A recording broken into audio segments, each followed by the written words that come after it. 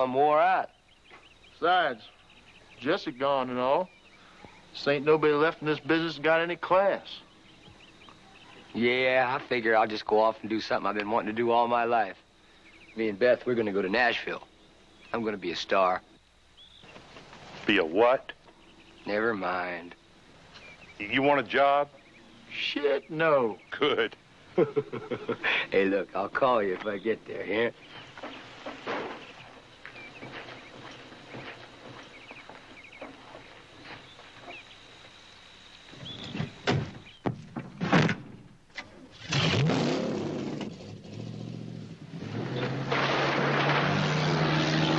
So for one time in his life, old Jake Rainey had finally been had.